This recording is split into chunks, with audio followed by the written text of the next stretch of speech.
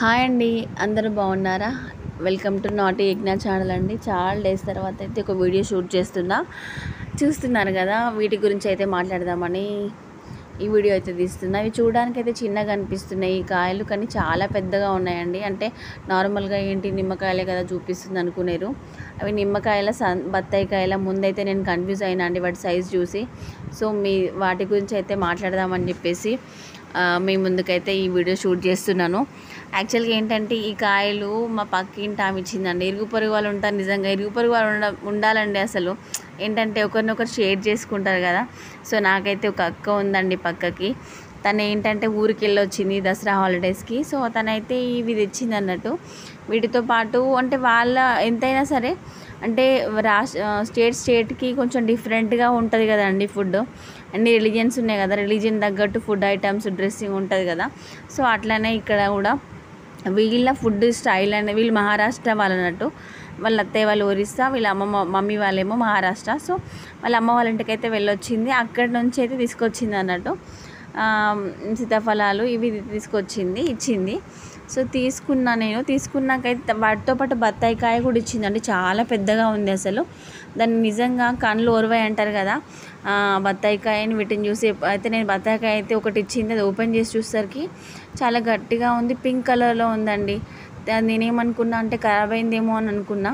ఆ అక్కకి అడిగాను నేను ఇట్లా అక్క ఇట్లా ఉంది అని చెప్పేస్తే అది అట్లనే ఉంటుందని చెప్పింది తను నేను ముందు నాకేం తెలుసు అండి అది ఓపెన్ చేస్తే నేను పింక్ కలర్ ఉంటే ఖరాబ్ అయిందేమో అనుకుని నేను పడేసిన. తర్వాత చాలా ఫీల్ అయినట్టు కానీ నేను ఒకటి చీ నేను ఒకటి మోసపోయిన ఏంటంటే ఆ బత్తాయికాయతో పాటు ఇచ్చిన కాయలు కూడా బత్తాయికాయలు ఏమో సంత్రాలేమో అనుకున్నా. ఎల్లో కలర్లో ఆరెంజ్ సైజ్ ఉంటే అవి కూడా ఆరెంజ్ ఏమో అని అనుకున్నా యాక్చువల్గా యాక్చువల్లీ మీకు విషయం తెలుసా? నాకు బత్తాయికాయకి ఆరెంజ్కి అయితే డిఫరెన్స్ అయితే చాలా డేస్ తర్వాత తెలిసింది.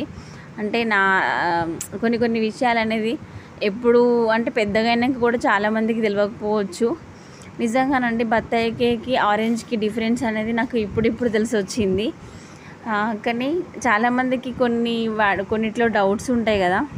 సో లాస్ట్కి అయితే అది నేను ఒకరోజు అంటే పిల్లలకు స్నాక్స్ ఇద్దామని చెప్పేసి కట్ చేస్తుంటే తెలిసింది అది నిమ్మకాయ అని చెప్పేసి. కట్ చేసినట్టు నిజంగానే కట్ చేస్తే కానీ తెలియలేదు అది నిమ్మకాయ అని చెప్పేసి. పైన చూస్తే పెద్దగా ఉంది కాబట్టి ఆరెంజ్ ఏమో అనుకున్నా. కానీ తన అక్కని అడిగిన ఆమెను అడిగితే ఇది లేదు లేదు అది నిమ్మకాయ నిమ్మకాయ ఆరెంజ్ కాదని చెప్పేసి చెప్పింది. తర్వాత అయితే అట్లనే నిజంగా చాలా మంచి అనిపించింది. కట్ జయబుద్ధి కాలేదు ఆ కాయలను చూస్తే. లాస్ట్కి అయితే జ్యూస్ వేసుకుని తాగుతున్నాం చూస్తున్నారు కదా.